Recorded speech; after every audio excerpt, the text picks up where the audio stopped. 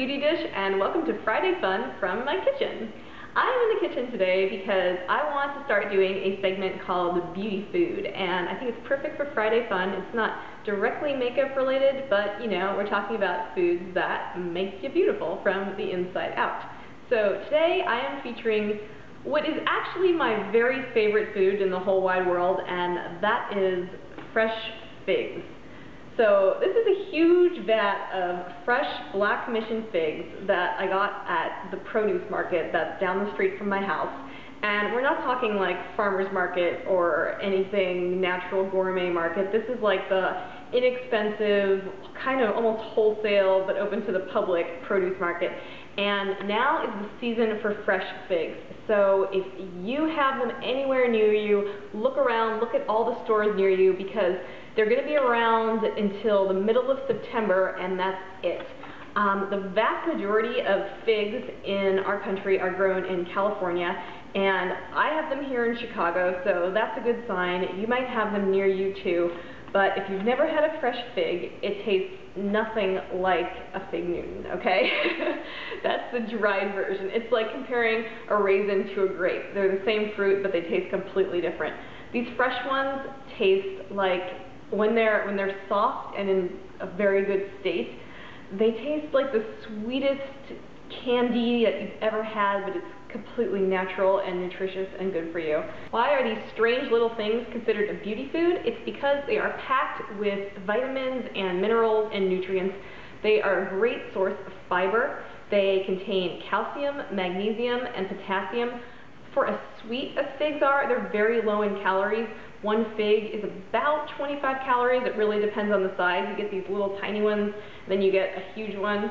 So it does depend, but you'll think you're eating dessert and you're really getting a delicious, nutritious package and a great beauty food. I'll cut, I'll show you the ones cut up in a minute and you'll see what they look like inside. They're beautiful and they just ooze this thick, sugary, honey, ambrosia, nectar of fig juice. And okay, that's enough of, of, the, of the food porn with my figs. But I'm going to show you my absolute favorite snack slash lunch to eat right now with my fresh figs. And it's so easy. All it is is Greek yogurt, which is packed with protein. So if I sort of, you know, eat a big old bowl of yogurt and figs instead of a sandwich for lunch, I'm still getting my protein. And I also add ground flax seeds, the figs, and fresh raspberries. So let me show you how I do it. Okay, here is everything we need to make this healthy, delicious, beautiful snack. We have our Greek yogurt. I like the Fage brand and always the 2%, never the non-fat. It's just creamy and I sprinkle some cinnamon on it. Oh, here we go. There's just a gratuitous fig shot and here are the cut up figs. They look like little jewels. They're beautiful.